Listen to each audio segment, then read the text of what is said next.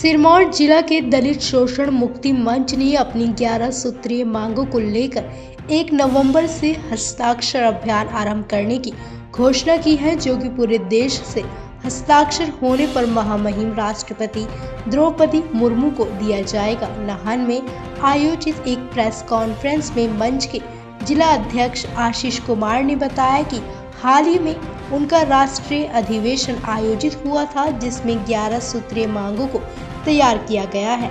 इन मांगों को लेकर एक हस्ताक्षर अभियान 1 नवंबर से शुरू किया जाएगा, जो कि पूरे देश में चलेगा और फिर इन्हें महामहिम राष्ट्रपति द्रौपदी मुर्मू को भेजा जाएगा। उन्होंने बताया कि प्रदेश में अभी तक अनुसूचित जाति आयोग में अध्यक्ष की तैनाती नहीं हुई है। सरकार को जल्द इसे आरंभ करना चाहिए। आशीष कुमार ने बताया कि अभी तक पिचासीवे संशोधन को प्रदेश में लागू नहीं किया गया है। ये भी एक प्रमुख मांग है।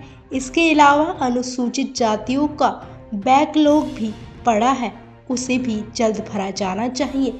इसके अलावा भी सरकारी नौकरियों में भी आरक्षण लागू हो, चाहे आउटसोर्स हो या अन्य। नाहन से हमारे संवाददाता जितेंद्र ठाकुर की रिपोर्ट। जिला सिरमौर ने एक प्रेस वार्ता जो की है, इसमें हमारा जो मुख्य उद्देश्य है कि जो हैदराबाद के अंदर जो दलित समिट हुआ था राष्ट्रीय स्तर का 26 तेईस अगस्त को, उसमें हमने 11 सूत्रीय जो मांग पत्र वहाँ चिन्हित किए थे, उसके तहत हमने एक करोड़ हस्ताक्षर अभियान का जो लक्ष्य रखा है, वो हस्ताक्षर अभियान हम करके दिसंबर के माह में राष्ट्रपति महोदया को भेजेंगे। दूसरा हमारा जो इसमें मुख्य लक्ष्य है कि एटी फिफ्थ अमेंडमेंट जो है, जो प्रमोशन में आरक्षण का अभी तक वो लागू नहीं हुआ है, हम उसको लागू करने की मांग कर रहे हैं। दूसरा जो पिछले नौ महीनों से जो प्रदेश के अंदर जो हमारे मुख्यमंत्री है, जब ये विपक्ष में थे। तो दलित शोषण मुक्ति मंच के जो आंदोलन विधानसभा के बाहर हुआ था, उसके समर्थन में इन्होंने विधानसभा का बहिष्कार किया था बायकाट किया था और ये अग्निहोत्री जी के साथ सड़कों पर आए थे।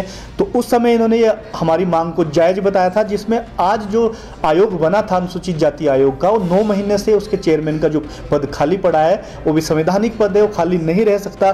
दूसरा जो बैकलॉग भर्तियाँ हैं, जो पैट के माध्यम से हुई है एस के माध्यम से हुई है, बाद में वो लोग नियमित हो गए, सरकारी पॉलिसी के तहत तो नियमित कर दिया, लेकिन उसमें जो एससी के लोगों का, अनुसूचित जाति के लोगों का ओबीसी के लोगों का, बहुत अधिक बैकलॉग जो बचता है, उसको भरने के लिए अलग से भर्ती प्रक्रिया सरकार को करनी चाहिए। हमारे फेसबुक पेज को लाइक फॉलो और शेयर करें। साथ ही यूट्यूब चैनल को लाइक करें सब्सक्राइब करें और ताज़ा खबरों के लिए बेल आइकॉन को दबाना न भूलें।